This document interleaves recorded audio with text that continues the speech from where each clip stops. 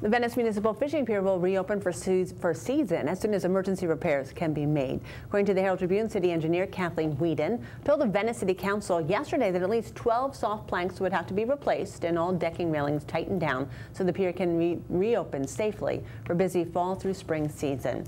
Calling it an intermediate repair, Weeden asked the City Council for authorization to approve an emergency contract for the repairs.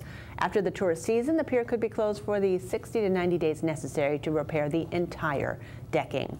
The council agreed by consensus to authorize the emergency contract.